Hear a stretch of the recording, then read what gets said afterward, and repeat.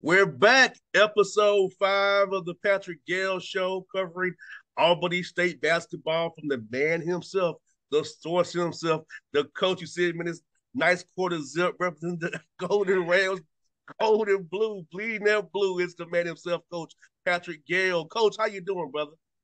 I'm great, Jr. How you doing, my man? I, I, we we we're cold here in Albany, but I think you're a little bit colder where you are. So appreciate you for for getting out of that nice warm bed to to to to come and do this. Yes, it is no snow where you are. no, no snow. Although we do have a freeze warning, no snow. We might yes. see some snow though. Hey, snowing in, in Southwest Georgia would be a scary sight. There's no salt down there. you know, it's it's it's cold though, man. It's definitely winter. I can tell you that. December is definitely right around the corner. Well, Coach, uh, how was your Thanksgiving? First, how was your Thanksgiving, and how did you uh, enjoy that time with your players? Have, use as an example, teach your players to be thankful for what they have to be able to play basketball at Albany State. You know, uh, be able to be together and grow as young men down there with you guys.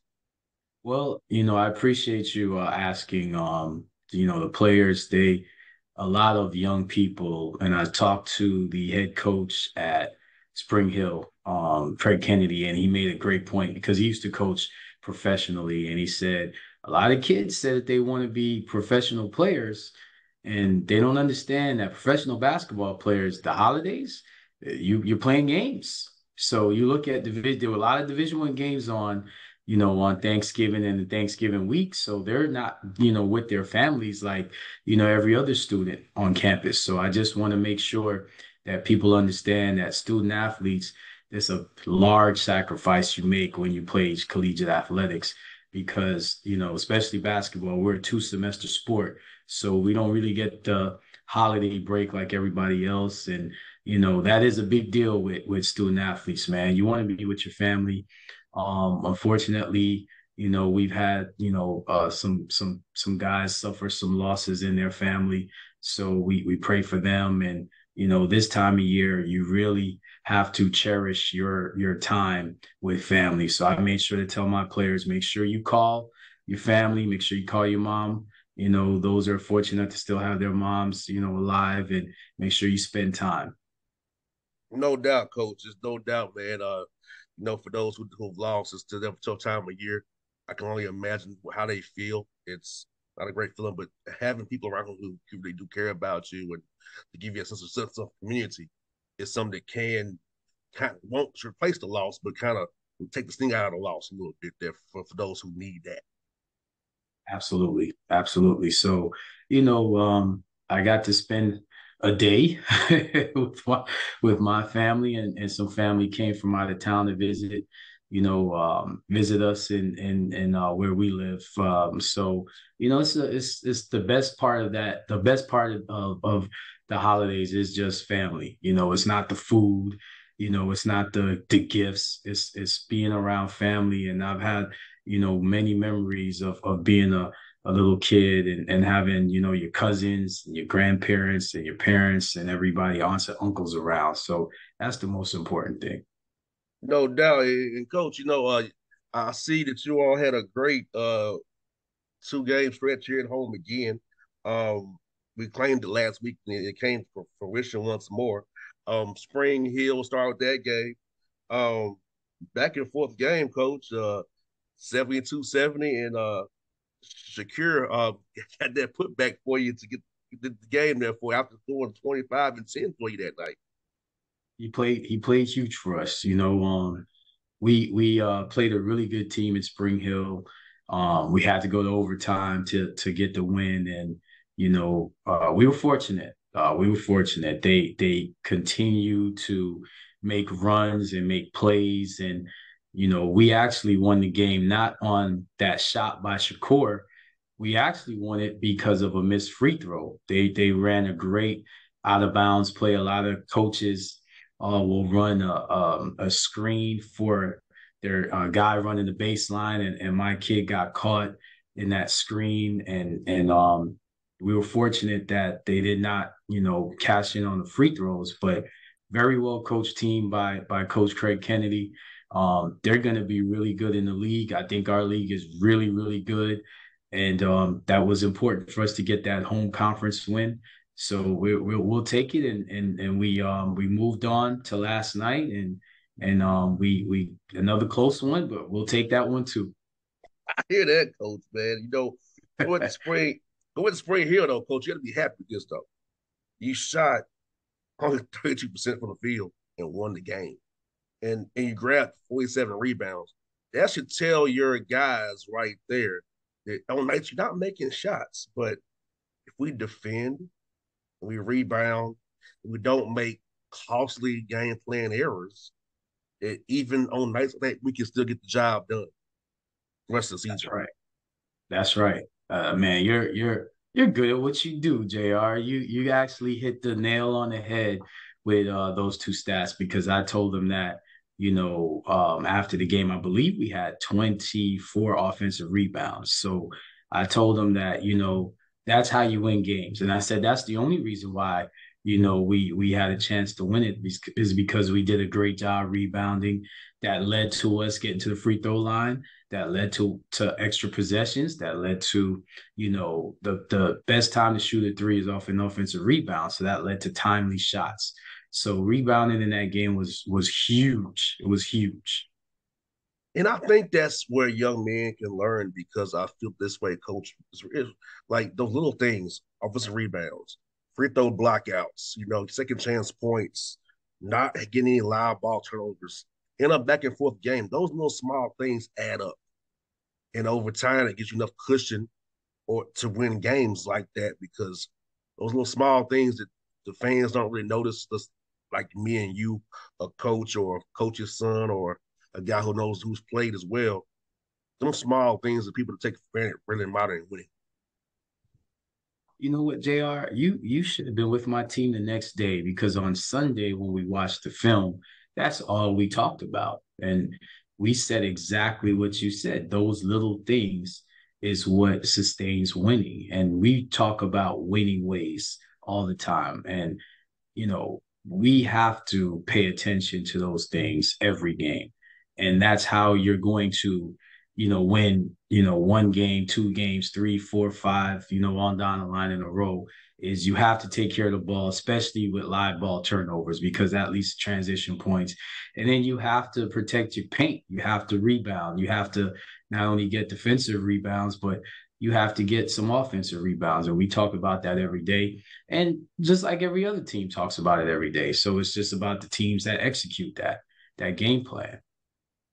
No doubt. And, and last I guess Tuskegee, um, another tight game, you know, uh, where you had to really defend like crazy and, you know, have guys step up in key moments. And uh, Andy Antoine got a key defensive play there at the end there for you guys. And uh, talk about this too, Coach Gills, how I know you're a defensive guy and teaching your guys how important defense can is to winning because defense is what getting you the job of finishing with rebounds, defending like crazy, not letting guys get open shots who should not get open shots, knowing your scout the right way. And just talk about how when you watch this film today with your, with your guys about how important it is to do these small things we keep talking about that leads to winning. Well, you know what? We we went backwards as far as rebounding. So it's funny that we're talking about how we have 47 rebounds against Spring Hill, and I think we only had something crazy like maybe yeah, just fourteen. Yeah, yeah, I, I read about I read, rebounded about twenty one points, twenty rebounds rather, which is like there wow. you go. And still there won. You go. And and and we still won the game, and we won the game because of our defense because we had to guard extra possessions. Um, we, you know, Andy had that block at the end of the game, and I challenged Andy at halftime, and I told him the game would be won in the paint, and there was one in the paint. Um, he had a key. One of his few field goals was a key um, uh, make, you know, in the second half, and then you know he he stayed out of foul trouble, which was great. But you know, Tuskegee man, uh, Coach Taylor, he has some big guys that they they destroyed us in the paint. Uh, Martez Jones, um, one of the best players in the SIAC. Um, I talked to uh, Tez after the game, and I talked to Coach Taylor, and I said, you know, I think he's probably one of the best forwards, you know, in the in the league and in the country. He does such a great job offensive rebounding, and he killed us last night. And we're fortunate to come out of, of, of the game with a W. But our defense was huge last night. It led to a lot of turnovers on their part. That led to a lot of transition points on our part. And we're just going to have to work harder to protect our uh, our uh, defensive boards. We play a a D1 team tomorrow in FAMU, and they're going to be big and they're going to be athletic too. So we're going to have to really, you know, hone in on those little details of boxing out and going to get the ball. And coach, what's what's good is that you can defend the home court so far this year. You're four and zero oh at home in Albany, and talk about the importance of that because I know in NBA you talk about you want you want to win your home games still on the road. You want to so talk, talk about that portion of teaching your guys to really defend home court and understanding and that's going to help you down the road for seeding purposes and just winning games, adding that tally, defending the home court where, you, where you're comfortable at. Winning, winning at home is a focus thing. Winning at home is being able to, you know, block out distractions and not allow you know the the people you go to school with, family, to kind of get in your head. You have to kind of zone them out and focus. You want to play well for them. Don't get me wrong. You want to you want to enjoy them, but you want to enjoy them after the game. And they're not going to know an appropriate time to come and talk to you. You're gonna have to kind of, you know, block them out. So it's huge to win home games. If you don't win your home games, you're not going to have a good season. And and that's why we're having a good season so far to start because we're winning our home games, obviously. So winning at home is everything.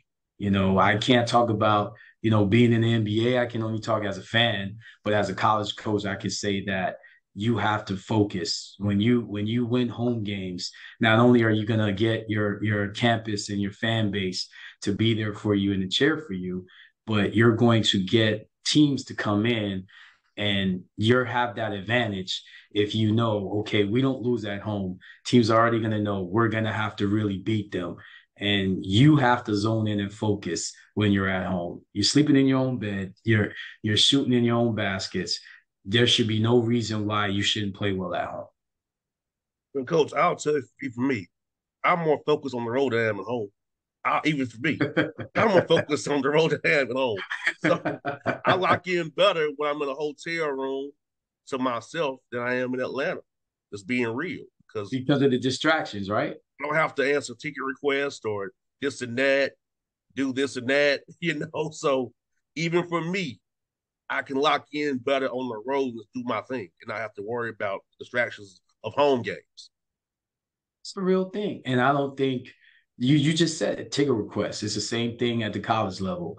You know, you family doesn't know that calling you or texting you anywhere within eight hours of the of the game time is not a good thing because you have to lock in, you have to zone in, and a lot of it is the pressure of I want to play well for you know the fans and and, and for you know my my students and the, the, the common students I go to school with and and family and you need that time. You need that time to kind of zone in and lock in. So it's a focus thing.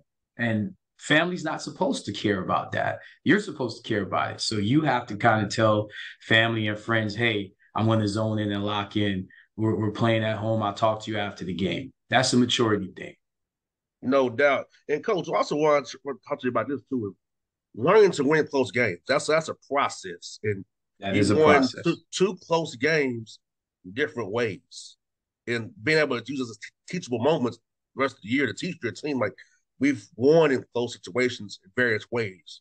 The multiple ways to get the job done. As my dad says, more than one way to, to skin a cat. so it's talking about that trying to win close games, teaching your team that way. It's them being confident, hey, we can it's a formula we're doing this. We can do it. What, what we can do it more, more than one way, but it was something we must do these, these close games winning and then do it on the road as well. As you let these games flip around for you, going away from Albany, Georgia. It goes back to what I just talked about with maturity. So last season we lost a lot of close games. So when we won our first close game this year, I told the team that it's better to learn from a win than a loss. And I can be the first guy to testify and say, you don't learn anything from a loss. You think you do. And that's great coach speech. But the only thing you do from a loss is get down. So that anxiety comes back when you're in another close game. I can tell you that from experience. It is what it is. But when you win a close game, it's everything because you can you actually can focus and lock in on more of the details to say, man, I can't put myself in this position again when it comes up again. But when it does come up again, you've already done it. So you're already zoned in and locked in and know and have the confidence because confidence is a funny thing, man.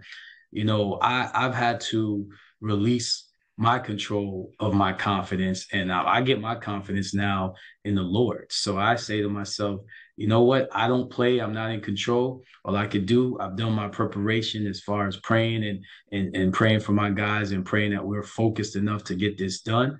But at the end of the day, it's it comes back to maturity and confidence. So that's why winning close games are important. And it's gonna help you down the line in the season. And after experiencing, you know, losing a lot of close games last year and and and thinking that okay, we'll learn, you don't because that lack of confidence comes back. On the flip side, the confidence of us winning that first home game, that first close game is everything. So now we've been in that position before. We know we kind of know what we what we have to do, and we because we've done it so many times, we're prepared. No doubt, and you got to your trip going to Tallahassee today to go to play FAMU tomorrow. You got you go to Tennessee to play Lane and LeMoyne-Owen, Jackson, and in Memphis. So talk about this uh, three game road trip, Coach Gayle, and uh, it's going to test your team the D1 level tomorrow night, but also uh, get back in conference play and see what see, what you guys are prepared for on this uh, three game track you got, man. Well, last year, you know what's funny? We talked about close games and winning at home. So last season, we actually went to FAMU. It's an exhibition. We went to FAMU. We lost in overtime. The very next night, we played at home against Georgia Southwestern. They ran us off the floor. And a lot of it was we gave so much energy in that FAMU overtime loss. And Georgia Southwestern, they took advantage of us kind of being down and you know, we we had enough energy to start, but we didn't have enough energy to sustain. So now on the flip side, we're coming off a close win at home in Tuskegee. And like you said, we started three game uh, road trip. So I'm hoping and I'm praying that us winning these close games can lead us into doing what we're supposed to as far as our energy and effort tomorrow night, but also understanding tomorrow night's an exhibition and going into conference in the weekend and being locked in and focused on the road because the conference games mean so much more than the exhibition game tomorrow. But that doesn't mean that we don't want to win. We always want to win every game that we play. No doubt. Just it's kind of understanding the boundaries and layers to it. You know, it just once again goes back to maturity, understanding, you know, so what it is. And, and Coach Gayle, you have some nice in the corner there. Talk about that beautiful cross you have. And I think there's all from state colors almost behind oh, yeah. you, Coach. Oh yeah. Um, one of my one of my players, I'll, I'll show it to everybody. One of my players um, from from uh, on the team uh, from Albany, uh, Georgia, uh, Lee County High School alum, uh, Javian Johnson. His mom um, does a cross for him, and he has one in his in his locker room on both campuses that we have. So she made one for me, and and and I I was blown away. And it, it has I'll, I'll actually um, give the scripture. I'll have people read it, but it's Hebrews 11 1 and it's Romans 8 28. And I encourage, you know, everyone to go read their Bible. I'm not a, a minister, so they can read it for themselves because, you know, the Lord speaks to all of us individually. You don't have to go through a middleman. So I, I encourage them to get in their Bible and, and read to see what that message message has for them. But it's just a you know, it's it's awesome to see. We talked about family and friends. So it's awesome to see that families are so invested, you know, in in in in the team And obviously, moms are so invested in their sons having success. So there to me, there's no coincidence when it comes to success. There's no coincidence when it comes to failures. A lot of times, now this is what I will say. I, I, I do think you learn a lot more from winning than from losing. But I also think that when you go through adversity, like we went through last year, it tests you, and and the Lord knows you know what's going to happen to you. So the Lord wants to see how you're going to respond to that adversity. You know, and everybody talks about the story of Job, and I we went through it last year and Javian was a part of that last year. He's a senior now. So a lot of coaches will want their young people to have success, not just because they root for their own players, but because they've seen what they had to go through with that adversity. So that means a lot to me, you know, what his mom did for me. Um, I have that close to me. And I just want, you know, everybody to know that a lot of times, you know, student athletes and coaches have a bond that's a much bigger than basketball. I'm sure you can attest to that, JR, with your career in college. Yes, I can. You know, and and even because in the media relationships I have with certain guys like yourself, and you know, it's it's funny that you know, I'm in the media. A lot of you guys see me as a friend because I don't come off as media because I, I don't act that way. I actually play and I'm different like that. I will attest to that. That is true. That is true. And and the thing is, I I look to form relationships with people, not with titles. So JR, whether whatever you're doing, whatever I'm doing, we would have a conversation like this anyway, you know. And I'm genuine in in who I am. I know who I am. Um, no one's gonna corrupt me. Nothing's gonna corrupt me. You know, I've been on this earth long enough where the Lord has had many conversations with me personally to kind of have me discern a lot of things. And I thank the Lord that I'm here sitting in this chair speaking to you. Hopefully, you know, to reach people that need to come closer to the Lord and have their own relationship. And, and Coach Gill, I'm gonna, I'm gonna go behind for the curtain back. And you know, I'm in the media, but I don't act that way. Have I ever asked you once about a recruit, a scholarship, who's playing, who ain't playing, I'm trying to get information out of you. you only, JR, I can say this. Our relationship has only been you trying to help Albany State men's basketball and help me, you know, as as a coach. So I I I'm very genuine genuinely happy, you know, about about what we're doing and, and our relationship. And trust me, I prayed about it a lot. And all the Lord has revealed to me is that you know what you see is what you get with this this young man.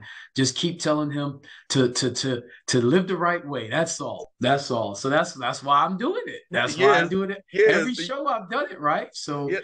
you know, but but um, you know, God bless you, man. I, I appreciate you. A lot of people talk about helping others, and I, I listened to a message recently. Actually, it was yesterday when I was working out yesterday morning and it was a great message about um a a trying to ask something from the Lord, but you're not willing to give. So the Lord wants to make you a conduit, and the more you give, the bigger He can put inside of you to for you to receive your blessings, but for you to also to pass it forward. So that's the biggest thing, Jr. You're using your platform and and your expertise to help you know my program and i'm i greatly appreciate it and all i can do is pay it forward to someone else that will need help and that will need mentorship. You know no that's that's so great saying coach that's that's why i do what i do coach because i feel like so many people in this business are transactional. Yes. And i'm not that way. Now i'll just i'll be flat out honest with people. I i, I either like you or i don't but that's just that that's me being human. And if i really like you i will go out of my way to help you. And I don't ask you about stuff that's that's mundane to me. This is more important to me. Talking about having real conversations, not who's on start, not who's going to play rotations, uh, who you're recruiting, who you're trying to recruit. That's to me as mundane. I let the, the beat writers. I let it for the beat writers. I'm gonna give you give you a different story for my people. I feel like that's more important than who starts, who plays, or your rotation. What, what were you thinking when you put this guy? Stuff.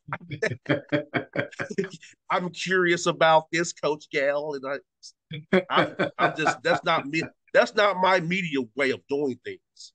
I rather have relationship with you, with you and guys like yourself because it's more important. Because when I retire from this radio show, I have a friend named Patrick Gayle. Whenever that day ah. comes, I say, I'm done being JR the boss. I'm gonna be JR. You know what I'm saying? That's more important to me than trying to figure out right now. Get you to tell me a little nugget. Go tweet out on Twitter or on Instagram. That's what I'm saying, Coach. Relate, real, a relationship that's not that's not transactional. Not to help me boost my or use you to boost myself. This ain't about me. It's about right. helping you in your program and helping another brother. You know, because you all don't. I said to you in July when we did the interview. They don't, they don't cover you unless you win a lot or something bad happens, and that's not right. There's some great stories going on in SIAC. It shouldn't just be when somebody win a lot or get a new job, somebody gets fired or something bad happens. Well, I'll tell you, I'll, I'll hey, so so you're preaching. I'm gonna preach a little bit, man. I'll give you a little testimony, Jr. So you don't even know this. I haven't even talked to you about this, but I was down when you sent me that email. Um, I was down because of the year we had last year. It was my worst year as a coach, and when you have those type of seasons, you you you. I'm human, so I, I I I had to get closer to the Lord. I questioned uh, myself a lot, and you sending that email was an answer to prayers of you are going through something, but you have to understand what you're going through is not going to be bigger than what you're going to be getting to. So, what we're going through now with our success to start the season, I've already seen it just because of the conversations I've had and the tests and the adversity is what I had to get past. And there's going to be more adversity. Trust me. I'm not saying, you know, eh, we only played five games, so don't don't get me wrong. There's a lot of basketball left to be played. I'm not crazy enough to think that everything is good. We have a lot of work to do. I have a lot of work to do. But if you don't have that vision, if you don't stay close to to the Lord genuinely, uh, I don't need to pray to win games. I need to pray to get better as a person and to do my purpose. And I need to have a relationship with Him. That's that's the bottom line. That's all I look at. But I do know this: what he promises, his his his his word is not in void, and that's what I've had to learn. That you can't look at the past, you can't look at situations that's going on now and think that's it.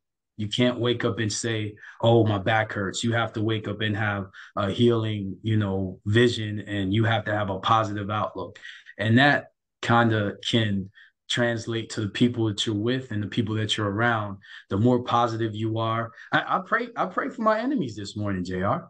I pray for those that I know that that don't mean me well. And I just pray for them and I ask, you know, for the Lord to forgive me just like I have to forgive them. Because at the end of the day, they're human too. So, JR, I'm telling you now, I appreciate you just reaching out to me because honestly, I, I, I was down. I, I, I was a coach that wasn't winning games, and I'm thinking, why in the heck would somebody want to reach out to me to do anything? And what you did was you showed me that no, stop thinking in that light. Thinking think of a light of success and winning. And Jr. Since since we've been talking, look, you you you you've been claiming victories for me. So don't let the show end without you claiming some more. I was gonna claim the FAMU victory tomorrow night. I'm gonna claim it at Lane College. That's still seated where I know very well, and went on in Memphis. It was the, the magician. So I'm claiming it for you, Coach. Three and zero oh week for you. A great report next Tuesday. And Coach, I'm gonna tell you this too, Coach. I'm gonna tell you what I I told you then. I didn't care about your record. I saw you as as a brother, and I can boost you up a little bit because I feel like you needed that. Now I didn't know you needed it, but now I know you needed it more than ever. But I didn't look at you as a record. I looked at you as, as a person and, and, as a man. That's why I tell a lot of my guys in the business, why why you want to talk to me for it? I'm losing. I'm not going to ask you about losing. I'm going to ask you about something that's positive. Because you know, as coach in my you know, in our shows, I don't know just negatives. Really. It's not what I do. There are people do that. That's not who I am. I'm here to uplift and boost you up, not bring you down. Why, right. why sort of be torn down? You know what I'm saying? Right, right. I, and and I so listen, man, not only do I appreciate it, I want people to understand that you can block your blessings when you judge. You can, and and it's funny. I just got this message this week, and and the Lord said to me, you know, a lot of people that you think are for you really aren't for you, and a lot of people that you try to push away that you think aren't for you really just want to support you, and and really think and, and pray for you. And I was like, wow. And then I started to kind of think about everybody that I'm around. And it made me think, well, the only way I can be is the same way with everyone. Uh, just like you just said, I have to be positive, have to be uplifting, and quickly you can discern because you have to work on yourself. It's like a marriage. You don't marry the same person um, when you've been married for a long time. That person evolves, you evolve. So it's just uh, relationships, humans. You know, we're we're we're we are God's creations, but we're we're not perfect. So we have to understand that we have to constantly try to get to know and discern people. So man, I appreciate what you do, man. And it's it's it's cool to be doing it through the vehicle of of of our athletics and basketball. That's what's cool about it. No doubt, because we're giving you real life messages, not just basketball, which is important that we do it on the Patrick Gayle show. It's gonna get bigger and better and keep on going. We're gonna get to playing these victories this week, and coach, we'll see you next Tuesday. Hopefully with a great report, sending you smiling with a great report for us this week, coach. well, JR, I'm gonna be smiling regardless. That's something I've had to learn too, just because we're both alive and we both can can spread the message and and and hopefully people will will listen to this message that we had today. No doubt, folks. It's episode five of the Patrick Gayle Show. We'll see you next week. Be blessed all. We'll talk to you again down the road.